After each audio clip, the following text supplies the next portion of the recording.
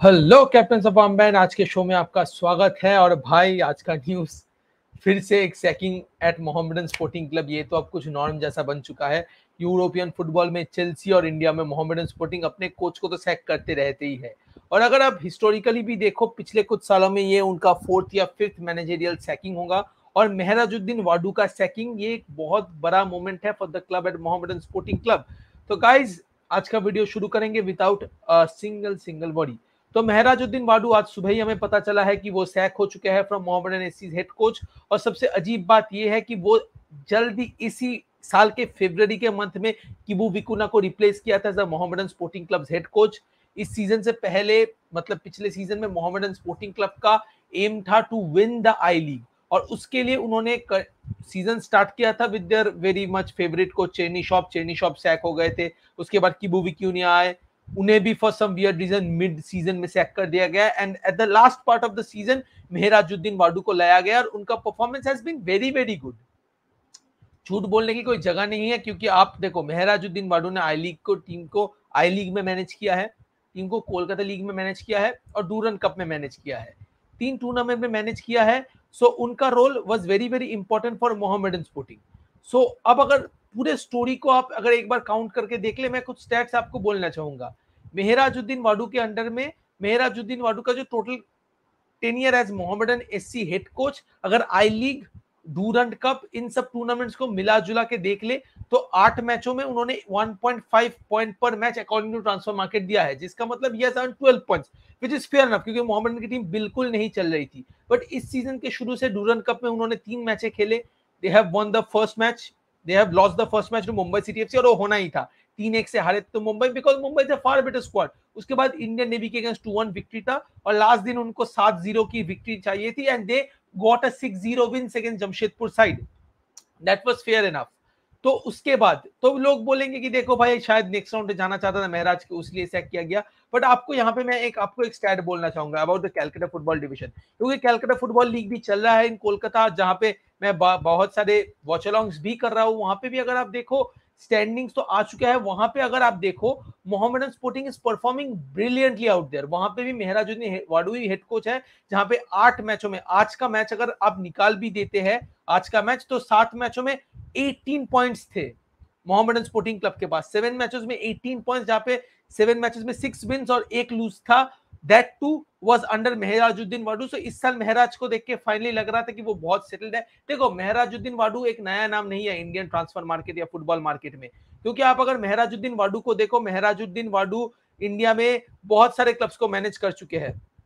उनका पहला जो रोल था in India which was very interesting क्योंकि देखो, जब वो पहले कोचिंग स्टार्ट के पुणे सिटी के अंडर 18 के कोच थे तो वहाँ पे उन्होंने कुछ दिन मैनेज किया। उसके बाद हैदराबाद के असिस्टेंट मैनेजर थे। उसके बाद उन्हें पहला मैनेजर करियर स्टेप लिया जब उन्हें सुदेवा दिल्ली गए और 17 मैचेस में उन्होंने एक पॉइंट पर मैच के रेटिंग से 17 पॉइंट्स टीम को दिया। And yes we all know Sudeva Delhi wasn't a very ambitious team और हम लोग जो जानते थे they will survive relegation they are fighting to save relegation and Mehrajuddin had done a pretty good job उसके बाद रियल कश्मीर गए, वही रियल कश्मीर जो थोड़ी सी टूट चुकी थी बिकॉज़ डेविड रॉबर्सन चले जाने के बाद टीम में कुछ प्रॉब्लम्स आए थे। एंड वहाँ पे रियल कश्मीर को एक स्टेबिलिटी दिया था महराजुद्दीन वाडू ने और Mehrajuddin Wadu fourth three attacking formation के साथ जब अपना करियर जस्ट लीप फॉरवर्ड कर रहे थे मोहम्मद स्पोर्टिंग जिनके लिए उन्होंने फुटबॉल भी खेला है।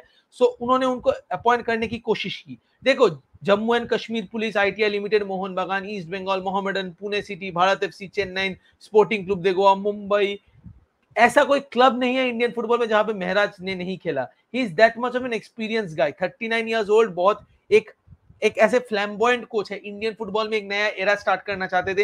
And Mohammed it was finally looking good but Mohammedan Sporting Club आप लोग तो जानते ही हो Mohammedan Sporting Club being Mohammedan Sporting Club उन्होंने सैक कर लिया। So next big question mark is who are they hiring answer तो सही है।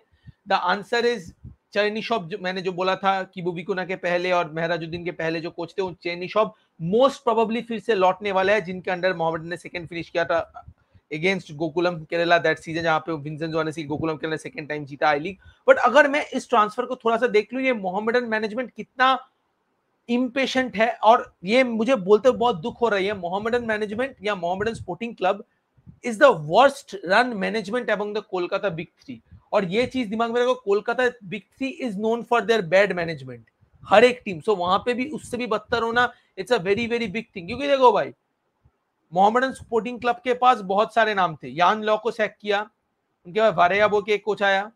चेनी शॉप सक्सेस दे रहा था एक सीज़न थोड़ा सा उठक बैठक गया। सेक कर दिया। किबू विकुना को ले आया लोग समझते कि भाई किबू विकुना गेम टाइम मिलेगा। मिड सीज़न में आ रहा है एक positional coach he will need time उनको सेक कर दिया। मेहराज, जो फाइनली वॉज़ परफॉर्मिंग वेल उनको सेक कर दिया। देखो, इसमें कोई शक नहीं है कि Mohammed sporting are one of the big threes in Kolkata. जो लोग कोलकाता में रहते हैं, वो जानते हैं ईस्ट बंगाल और मोहन बगान के जितने फैंस है मोहम्मदन के भी फैंस है उतने।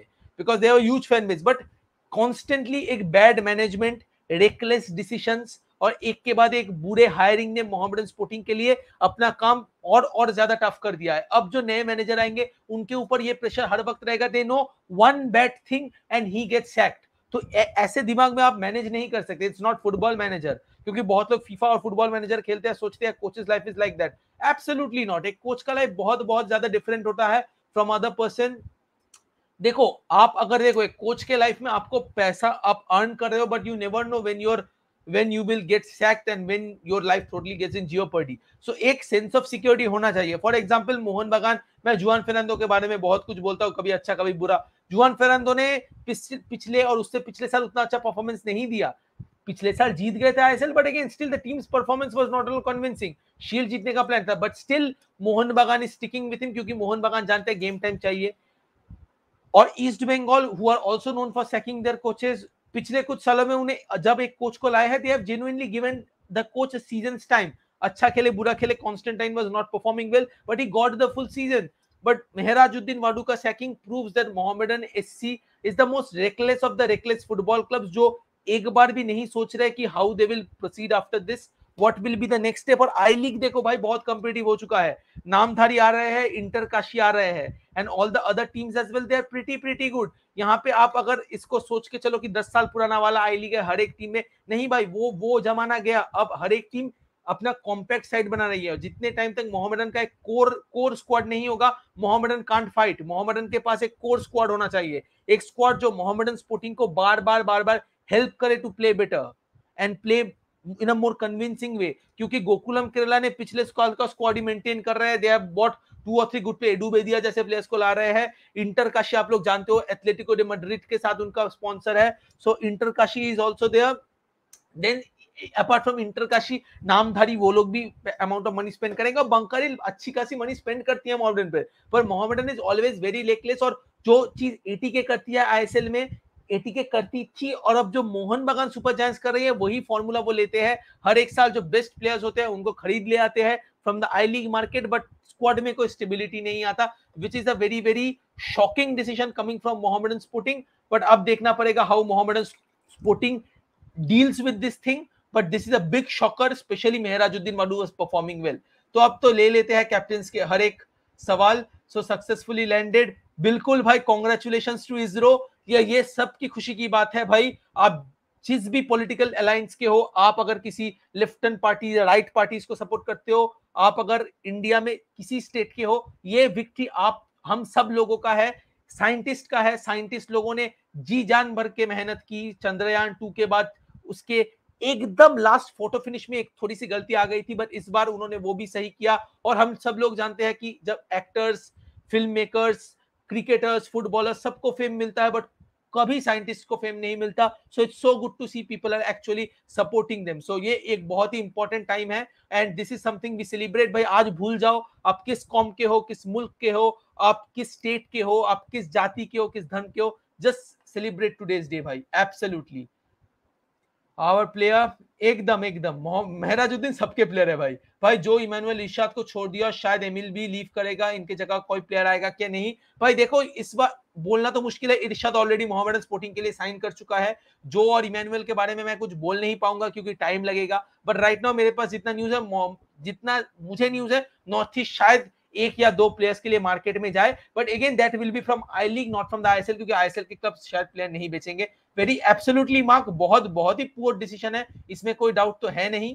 So Rajvanshi absolutely India proud Indian so भाई, कल एनयूएफसी और आईएफसी का मैच का वॉच अलॉन्ग करोगे क्या? देखो, मैं तो कल तो नॉर्थ ईस्ट का और जो आर्मी का मैच होने वाला है, वो मैच का वॉच अलॉन्ग तो मुझे करना है ही।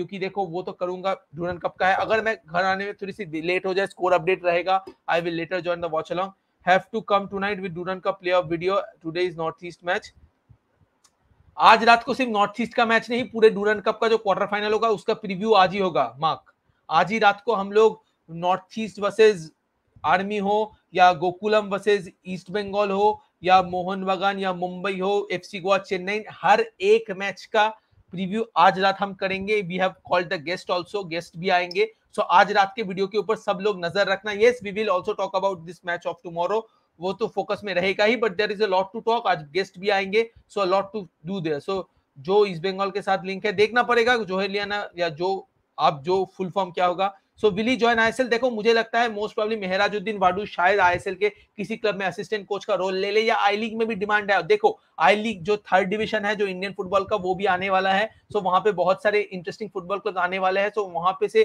कोई अगर उनको अ कोच ले लेता है मुझे बहुत ज़्यादा शक नहीं होगा। Because he is that good of a player that good of a man manager उनका कोचिंग करियर भी डेवलप हो रहा है is only thirty nine years old so इसमें भी कोई प्रॉब्लम्स तो है नहीं। So I think he will get his time so F C Goa CFC ONS को 2019-20 सेमीफाइनल देखो भाई, वो लोग भी वही बोलेंगे। Manolo Marquez is lot of good things to talk about आज रात के वीडियो में सब आएगा डोंट वरी सो गाइस आज के लिए इतना ही।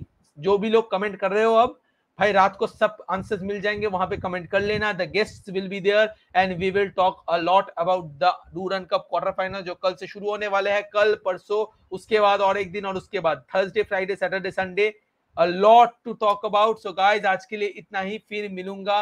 आज रात के वीडियो को सो डोंट मिस इट जो लोग के सवालों के मैं आंसर यहीं पे नहीं दे पा रहा हूँ so just wait for it आज रात को आपको हर एक का आंसर मिल जाएगा। So until then is good bye from Om फिर मिलेंगे आज रात को विद द न्यू